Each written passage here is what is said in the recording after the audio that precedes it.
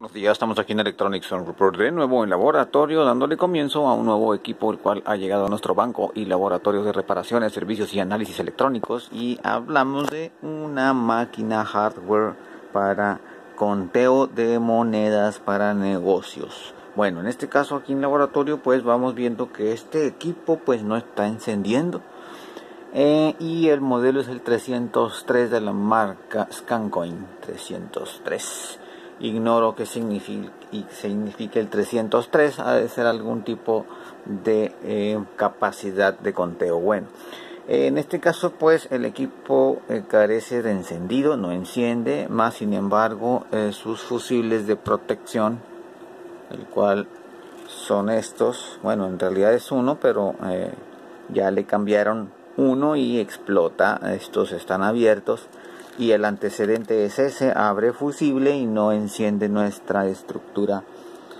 de eh, lo que viene siendo la máquina, el cual pues tiene acá por acá una serie de segmentación LED, o sea, o pantalla cuadrante, el cual pues vamos a nosotros ver que tiene esta tarjeta que sería la tarjeta lógica de comando y por acá tendríamos la tarjeta rectificadora o fuente de poder que alimentaría pues a esta tarjeta. Esta vendría siendo la rectificadora y fuente de poder. Pues si se ve de buena calidad hay que verlo.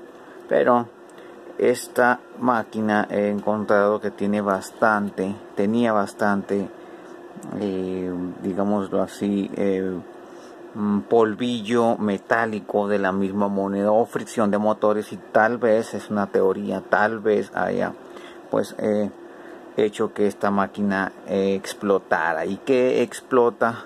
Pues he estado analizando el circuito de potencia, de poder.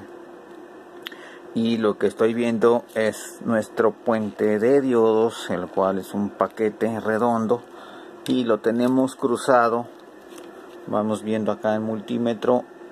Lo tenemos cruzado de positivo a una de sus tomas de alterna teniendo como resultado pues esta lectura de cero. Y específicamente estoy midiendo de positivo a una patilla de alterna. O sea pues está totalmente cortocircuitado. Y este elemento semiconductor lo tenemos en esta locación.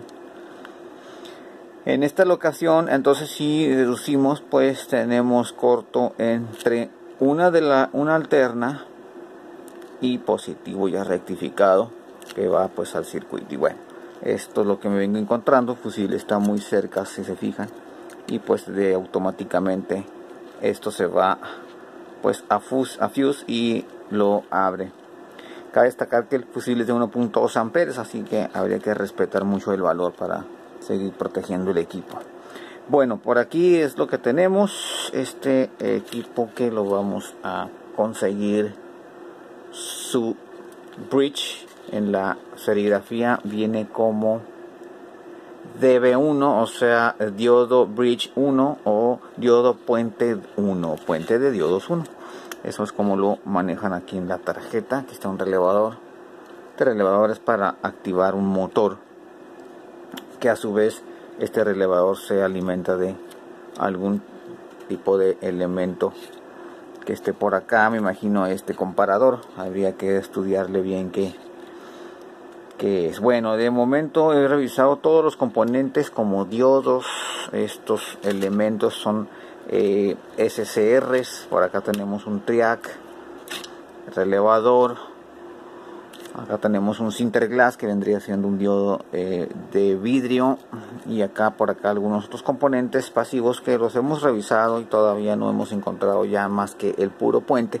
Y bueno por el otro lado también hay que revisar esta tarjeta ya sea que pudiera tener algún elemento también dañado ya que la señal positiva va hacia este esta tarjeta. Pero bueno vamos a, a cambiar este puente y ver qué eh, comportamiento tendría nuestra Scancoin 303 muy bien este vamos a dar aquí paso a lo que viene siendo el equipo, cambiar nuestro puente y ver resultados. Muy bien, estamos aquí en Electronic Zone Report, un paso adelante en equipos de cómputo, audio, video, potencia, equipo médico diverso. Estamos en contacto y muy, pero muy buenos días a todos. Muchas gracias.